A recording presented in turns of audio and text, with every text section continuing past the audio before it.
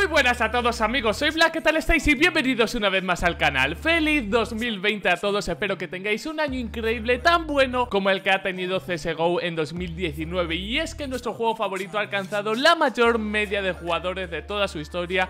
El mes pasado, más de 450.000 personas juegan a diario CSGO Es innegable, ha sido un buen año, pero en 2020 necesitan cambios porque viene otro juego del cual hablaremos en este vídeo Que le va a hacer la competencia y necesita cambios, que es lo que voy a comentar en este vídeo. También me encantaría saber vuestra opinión en los comentarios y qué opináis al respecto. Así que espero que disfrutéis muchísimo del vídeo y vamos a ver qué cambios necesita CSGO.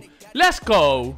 Y vamos a empezar con el número 5 y es evidentemente el balanceo de armas. Yo pienso que en este 2019 se perdió un poquito la esencia de CSGO, la esencia de apuntar mejor que el otro con la aparición de las armas AUG y SG. Estas armas han desbalanceado muchísimo el juego, han vuelto muy CTs, eh, por ejemplo cuando estaba el auge muy OP eh, era el juego terriblemente CT, sobre todo en mapas de largas distancias y ahora que nerfearon el AUG muy bien bajándole la cadencia y la SG solo lo que le han hecho es aumentar el precio, ahora hay mapas más terroristas. El juego la verdad que no está bien balanceado, cuando tienes una SG se nota una auténtica barbaridad y yo pienso que deberían nerfearla lo antes posible. Hay muchísimos jugadores profesionales que se han quejado al respecto, han hecho cambios muy buenos, es decirlo, Valve este año 2019, por ejemplo, lo de la inclusión de los rifles, la FAMAS y la Galil que valgan menos, se puedan comprar en segunda ronda, eso me ha parecido fantástico. No ha roto para nada el meta, pero la SG ya es hora de nerfearla. Y otra cosa que sí deben cambiar para mí inmediatamente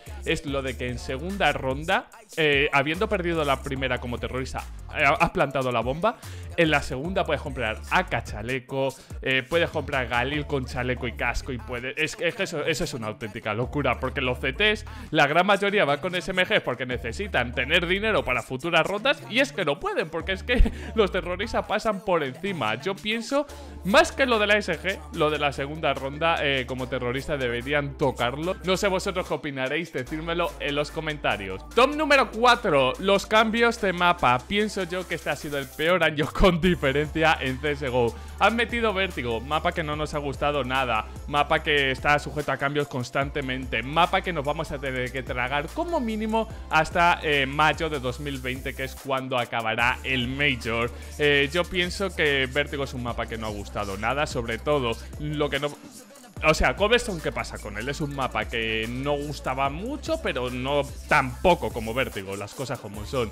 Y lo peor yo pienso que también ha sido caché. O sea, ha sido el peor eh, remake con muchísima diferencia del juego. Es un mapa que no está bien optimizado, es un mapa que a la gente no le va bien de FPS, es un mapa que hubo una de problemas increíbles cuando metieron los nuevos modelos y se camuflaban. Es un mapa que yo pienso que de todos en general ha sido el peor remake hasta el momento. Eso sí, ojalá lo optimicen y vaya bien. Así que por lo tanto, ¿qué deseo para 2020 cuanto mapas? Evidentemente que metan los mapas que nos gustan, que ojalá hagan caso a la comunidad y metan mapas antiguos como Tuscan y veremos si el nuevo remake que toca Mirage está bastante mejor optimizado. Top número 3, algo que para mí deberían mejorar sin lugar a duda es el Major, ¿vale? Antes Valve te invitaba a ver, eh, a ver el Major, te decía, bueno, te puede tocar una caja gratuita que te puede dar dinero y luego tú lo invertes como quieras, vas a ver los mejores partidos competitivos, etcétera, etcétera. Ahora eh, lo que tienes que hacer es tú gastarte dinero para participar en el Major y que así ellos te den cajas. Es cierto que el CSGO es gratuito y Valve necesita sacar dinero de algún lado. Yo creo que con las skins es más que suficiente. Ahora ver el Major no tiene ningún aliciente. Pienso yo que está vacío y ahora las skins que hay en las cajas del Major es que no te invita nada, ni a abrir cajas, ni a ver el Major. Eh, los viewers han bajado, tienen que hacer algo, no es tan bonito como antes. ¿Qué pueden meter en, al Major? Evidentemente, lo de los paquetes gratuitos que los vuelvan a meter. Eh, también skins de personajes eh, de equipo, yo pienso que eso sería una auténtica locura para que cada uno pues vaya de su equipo favorito y que ese dinero vaya directamente al equipo, que Valve se quede una comisión y lo que ellos quieran. O inclusión de nuevas skins. Por ejemplo, las skins que han salido en la última operación, en las últimas colecciones, podrían meterlas en algunos mapas, cambiarlas, reestructurarlas y que haya, como digo, más alicientes. Y yo pienso que es eso, ¿no? Que el Major ha perdido muchísimo y que deberían recuperar la esencia que tenía antes. Top número 2, que esto me lo vais a pedir todos. Tranquilo, chavales, yo también lo pienso. Mejorar el juego de cara a servidores y el anti-cheat. Yo pienso que Valve eh, estás teniendo la mayor base de jugadores de toda tu historia. No puede ser que un juego que ya está muy asentado siga teniendo problemas de hackers que eso es un problema de la hostia. Antes podríamos pensar todo, vale, en Valve deja que haya hackers porque así más gente compra las cuentas, pero ahora que es gratuito ¿de qué te sirve? Lo único de que te sirve que haya hacks es que la gente se enfade y deje de jugar a tu juego. Ya, por favor, implementa un sistema de anti-hackeo. Y lo de los servidores es algo que debería ser también primordial. ¿eh? Es increíble que tú, por ejemplo, veas a tu jugador favorito lanzar una granada de humo y tú no la puedes replicar porque está, él está jugando en 128 y tú estás jugando en 64. Se te fuman las balas y esto que significa más frustración. O sea, lo único que sirve ahora mismo estos servidores y estos hackers es frustración que va a hacer que menos gente deje jugar y por lo tanto la base de tus jugadores baje. Y también lo que yo pienso que deberían hacer algo es contra los Smurfs. Ahora que las cuentas de CSGO son gratuitas hay muchísimo más Smurfs que antes y de hecho la gente suele confundir Smurf con hacker porque ve que un tío le está violando y evidentemente va a decir, joder, eh, llevo yo 10 horas jugando y este tío me está violando. O sea, lleva 50 bajas, es que esto no es normal. Así que yo, chavales, atacaría estos tres frentes inmediatamente. Hacks, eh, servidores y smurfs. Y top número uno. Adivinar qué es lo que va a ser. No depende de Valve, depende de Riot. Project y lo que supondrá. ¿Por qué estoy metiendo Project en el top 1? porque por primera vez en la historia de Valve tienen un competidor directo real.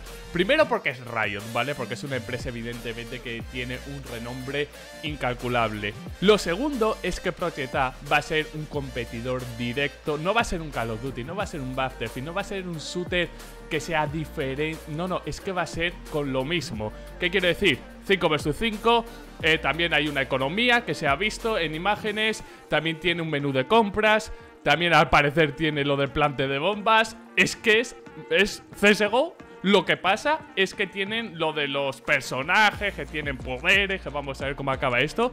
Pero en esencia, como digo, es exactamente el mismo juego. Y esto, chavales, a Valve, evidentemente, como sea un muy buen juego, le va a dar dolores de cabeza. El time to kill es exactamente el mismo. El bala en la cabeza, mueres. Los mapas los está diseñando eh, gente que ha trabajado en CSGO como Volcano. Tienen gente de CSGO metida a rayos dentro. Valve aquí lo va a pasar muy putas. ¿Y esto qué quiere decir?